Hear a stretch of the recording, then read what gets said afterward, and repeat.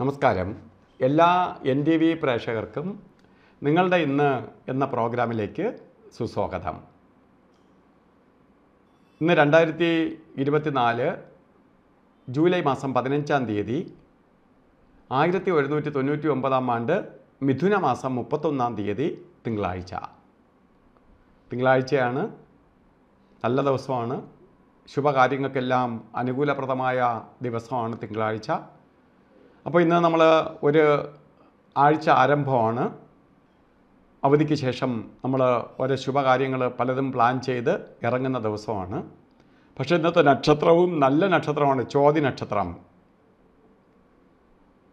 അപ്പോൾ ചോതി നക്ഷത്രം ശുഭനക്ഷത്രമാണ് നമുക്ക് ആഴ്ച നല്ലത് കിട്ടിയതുകൊണ്ട് മാത്രമായില്ല ശുഭനക്ഷത്രവും കൂടി വന്നാൽ മാത്രമേ ആ ദിവസം ശുഭപ്രദമായി തീരുകയുള്ളൂ. അപ്പോൾ ശുഭനക്ഷത്രം ശുഭവാരം. രണ്ടും ഒത്തു വന്നിരിക്കുന്ന ദിവസമാണ് ഇന്ന്. ഇന്ന് നവമിയും കൂടിയാണ്. ഇതൊക്കെ നമുക്ക് ഒരു കാര്യത്തിന് തുടങ്ങാനോ എന്തെങ്കിലും പുതിയ പുതിയ സംരംഭങ്ങൾക്ക് കൈവയ്ക്കാനോ ഒക്കെ അനുകൂലപ്രദമായ ഇന്റർവ്യൂവിന് പോകാനോ ഒക്കെ അനുകൂലപ്രദമായ ഒരു ദിവസമാണ് ഇന്ന്. പ്രത്യേകിച്ച് ഇന്ന് ബർത്ത്ഡേ വന്നിട്ടുള്ളവർക്കോ ഒരു വർഷത്തെ ഫലത്തെ ചിന്തിക്കുന്നതാണ് ബർത്ത്ഡേയിലൂടെ.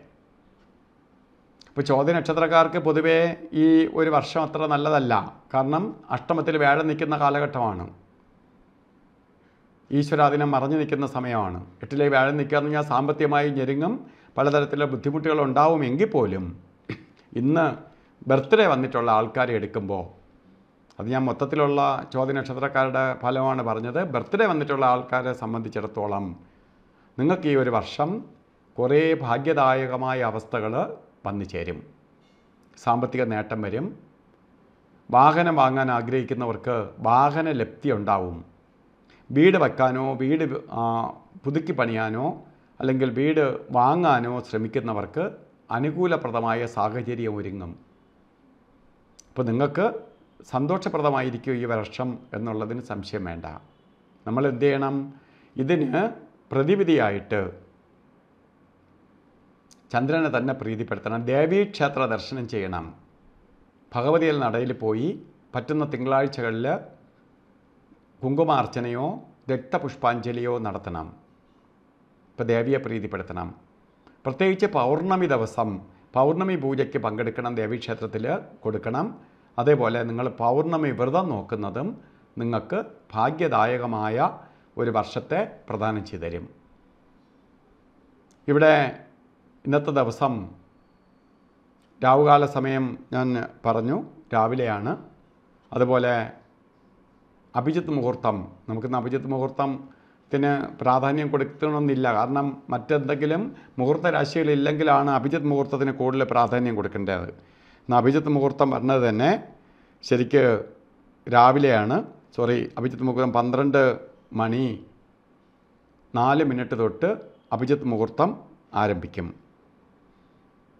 ശരിക്ക് പന്ത്രണ്ട് മണി അമ്പത്തി മൂന്ന് മിനിറ്റ് വരെ അഭിജിത്ത് മുഹൂർത്ത സമയമുണ്ട്. ഏറ്റവും ശുഭപ്രദമായ സമയമാണ് ഒരു ദിവസത്തിൽ അഭിജിത്ത് മുഹൂർത്തം. പക്ഷെ നമുക്ക് എടുക്കാൻ പാടില്ലാത്ത രണ്ട് സമയങ്ങളുണ്ട്.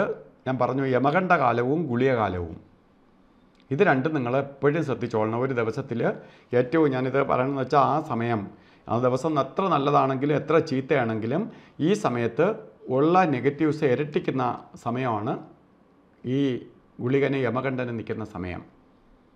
അപ്പോൾ ഈ സമയം ഏറ്റവും ശ്രദ്ധിക്കണം. കാരണം രണ്ട് മണി നാല് മിനിറ്റ് തൊട്ട് മൂന്ന് മണി മുപ്പത്തിനാല് മിനിറ്റ് വരെ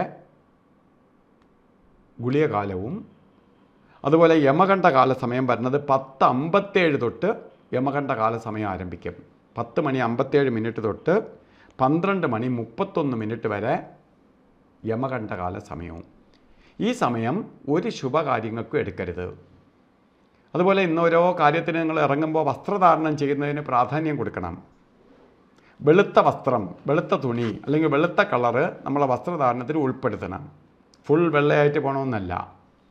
അപ്പോൾ വെളുത്ത വസ്ത്രം മറ്റ് കളർ തുണികളുണ്ടെങ്കിൽ അതിൽ വെളുപ്പിന്റെ വെളുത്ത കളറും കൂടി ഉണ്ടാവണം. ഇല്ല നമുക്കൊരു കർച്ചീപ്പായിട്ടെങ്കിലും വെളുത്ത ഒരു വസ്ത്രം ധര ധരിക്കുക.